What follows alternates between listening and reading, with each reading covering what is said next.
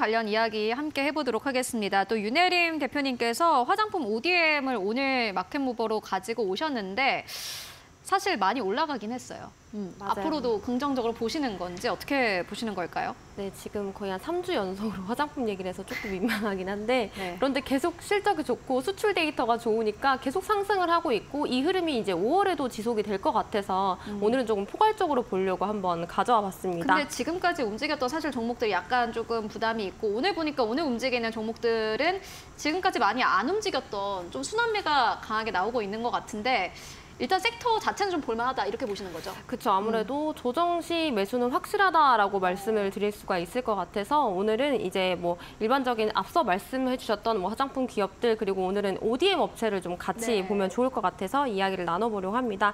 그래서 이제 화장품 ODM이라고 하면은 이제 디자인과 제조를 같이 하는 업체이죠. 그래서 제품이 완성이 되면 이제 브랜드의 이름으로 판매를 하기 때문에 뭐 제조업체의 이름을 공개하지 않는 이런 형태라고 이해를 하시면 되겠습니다. 그래서 이 ODM의 모델을 활용을 하면 뭐 고가의 이런 제조 설비 투자 없이도 조금 다양한 제품을 시장에 출시가 가능하기 때문에 뭐 자본이 제한적인 스타트업이나 그리고 중소기업에게는 굉장히 중요한 역할을 하고 있겠죠. 그래서 이러한 ODM 업체들이 여러 국가의 제조 시설을 보유를 하고 있고 또 다국적 브랜드가 이 글로벌 시장에 진출을 할 때 뭐 관세나 물류비 절감 등의 조금 이점을 제공을 한다는 장점을 갖고 있습니다. 그래서 뭐 이제 뭐 K 뷰티 지금 너무나도 잘 나가고 있기 때문에 성장이 계속된다라고 말씀을 드릴 수가 있겠죠. 특히나 이제 국내외 관광객이 계속 증가를 하고 있습니다. 그리고 이제 현실점 굉장히 강달러의 모습을 그죠. 보여주고 아. 있잖아요. 그런데 이제 달러 강세뿐만 아니라 우리가 위안화랑 비교를 했을 때도 이제 원화가 약세이기 때문에 그래서 중국인 관광객 유입에도 굉장히 긍정적이고 그리고 중국인의 1위 쇼핑 품목이 이제 화장품이기 때문에 뭐 너무 잘 오르고 이제 주가도 잘 올랐지만 이제 조정이 나올 때는 그때는 또 다시 분할 매수를 해서 더 상승할 모멘텀이 남아 있다라고 말씀을 드릴 수 있을 것 같습니다.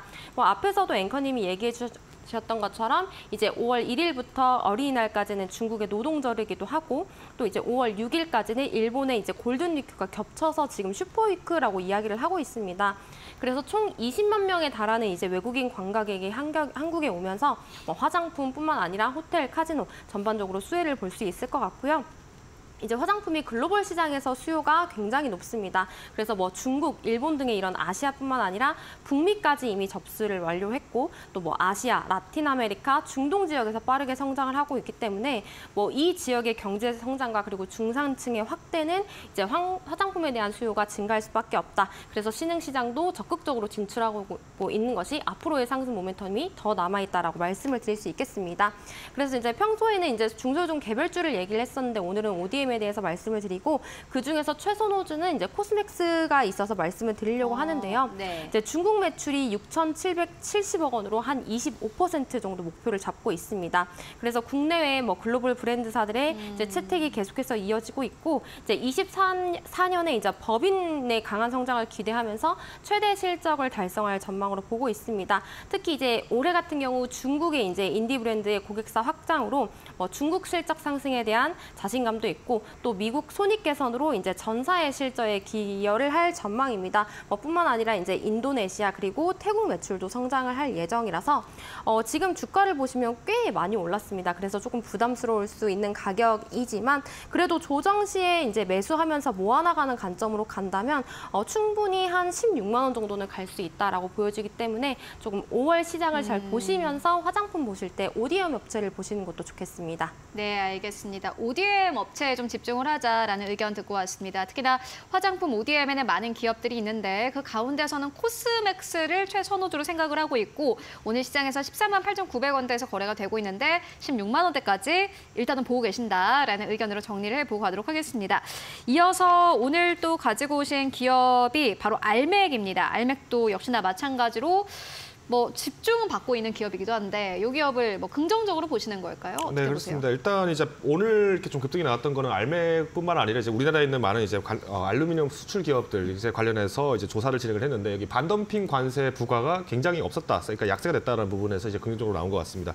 특히나 알맥 같은 경우는 지금 미국으로부터 이제 지금 조사받았던 경우가 이제 어, 과거 이제 2022년 10월부터 해서 23년 9월까지의 이제 수출 실적들을 이제 기준을 했는데 이 상무부가 이제 왜 이런 판단을 하게 됐냐면은 뭐 많은 분들이 이미 이미 들으셨겠지만 이제 최근에 중국의 저가 제품들이 이제 워낙 중국으로 많이 유입이 되면서 중국 내 제조업이 어려워지고 있다 이 얘기가 발현되니까 결국은 이제 뭐 알루미늄 알루미늄 노조라든가 아니면은 이제 금속 노조 측에서 이제 마찬가지로 이 부분을 조사를 해달라고 요청을 해왔었습니다. 실제로 이 조사를 진행을 했는데 상무부 판단에서는 이제 예비 판정을 한 결과 이제 알맥 같은 경우에는 이제 어, 덤핑 관세율을 이제 0% 부과를 했고요. 또 이제 우리나라에 있는 SMI라고 하는 이제 알루미늄 업체도 마찬가지로 2.4%로 굉장히 저조한 관세율을 부과를 했습니다.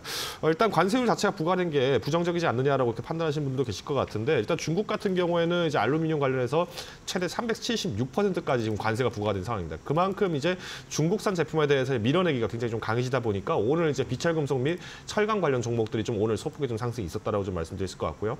어, 튀르키예 같은 경우도 73%, 베트남도 41%입니다. 그러니까 어, 이제 중국과 좀 친하게 관계를 맺었던 이제 구, 중국과 좀 고호적인 관계를 있던 기업들 같은 어, 국가들 같은 경우에는 좀 관세를 좀 높였다는 점들이 아무래도 이제 미국 입장에서는 조금 그동안 좀 우호적이었던 이제 경제 협력 관계에 있었던 이제 한국이라든가 일본 그리고 유럽의 기업들에게 대해서는 좀 우호적인 판정을 내렸다라고 좀 볼 수 있을 것 같고요. 어, 대신 이제 여기서 이제 주목하셔야 될 거는 알맥이 이제 결국 해외 사업 비중이 이제 지금 70%가 넘다 보니까 어, 일단 미국에 대한 수출에 대한 물꼬는 트는 것은 확실하다라는 부분이 좀 긍정적으로 작용을 하고 있습니다.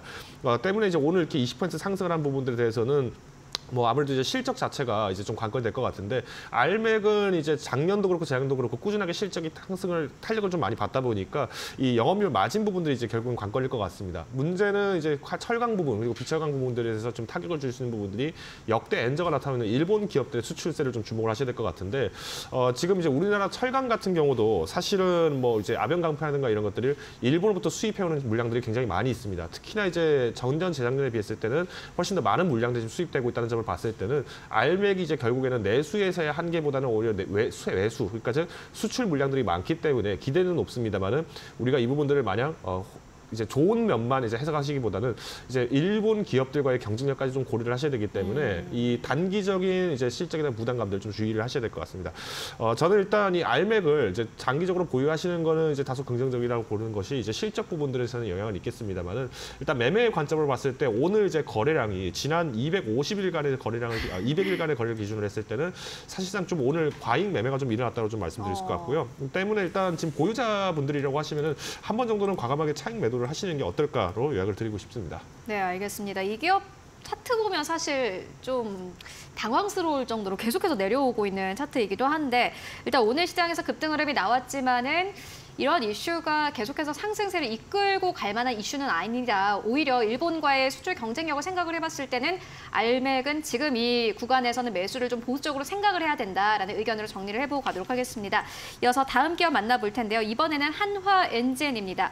이 기업은 역시나 마찬가지로 뭐 실적 기대감 계속해서 나오고 있는 기업이고 많은 분들이 집중하고 있는 기업이기도 합니다. 지금 긍정적으로 보시는 걸까요? 네, 지금 이제 갑자기 급락하는 흐름을 보여서 이걸 어떻게 해야 하나라고 생각을 많이들 하실 것 같은데 이제 우리가 조정일 때 사야 되죠. 그래서 맞아요. 다시 한번 네. 말씀드리려고 합니다. 뭐 조선업이 이제 미중 갈등 반사 효과에 순항하는 모습을 보이면서 최근에 굉장히 많이 올랐죠. 뭐 글로벌 수주 실적도 1위를 찾고 이제 공급자 우위 시장을 확보하면서 좋은 흐름을 보여줬습니다. 그리고 조선업 또한 이제 강달러 수혜를 보는 업종이기 때문에 뭐 수주액으로만 놓고 봤을 때는 1분기가 한 135억 달러. 그래서 3년 만에 우리 우리나라가 중국을 제치고 현재 1위를 하고 있는 상황입니다.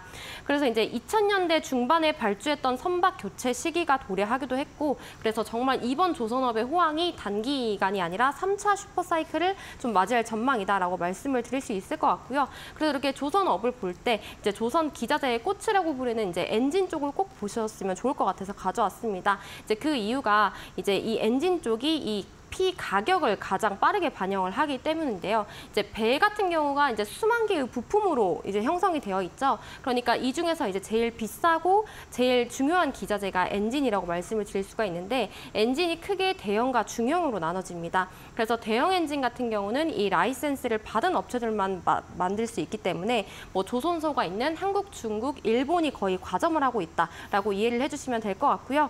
그래서 여기서 이제 한국이 MS를 한 60% 가까이 차지를 하고 있어서 글로벌 조선 비중이 40%밖에 안 되기 때문에 한국산 엔진이 이제 중국배에 납품되는 케이스가 굉장히 많습니다.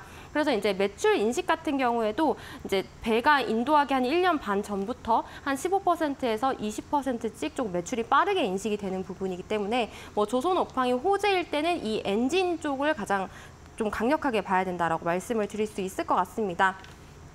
그래서 이제 1분기 영업이익만으로도 이제 전분기 대비 한 2%, 2 2만 퍼센트 정도 증가를 한다고 해요. 하나 엔진이. 그래서 믹스 개선에 따른 이 단가 상승 영향이 26년까지 지속될 전망이기 때문에 어, 지금 잠깐 또 요 며칠을 봤을 때는 이제 빠지는 모습이어서 어, 혹시라도 이제 고점에 물려 있다면 손절해야 되나 이렇게 생각하실 수도 있을 것 같은데 지금 외국인과 프로그램은 지금 계속 하락하고 있는 상황에서 계속 매수하는 모습을 보여주고 있습니다. 그래서 한 11,000원 정도 지켜준다면 뭐 여기서 이제 조정 시 매수하는 관점 유효하다고 말씀드리고 싶습니다. 네, 알겠습니다. 현재 좀 일단은 급등 흐름이 나온 이후로 약간의 좀 갭을 메우고 있는 상황인 것 같은데 한화엔진은 11,000원 선이 깨지지 않는다면은 보고 일단은 계속해서 좀 매수 관점으로 바라보자라는 의견으로 정리를 해보고 가도록 하겠습니다.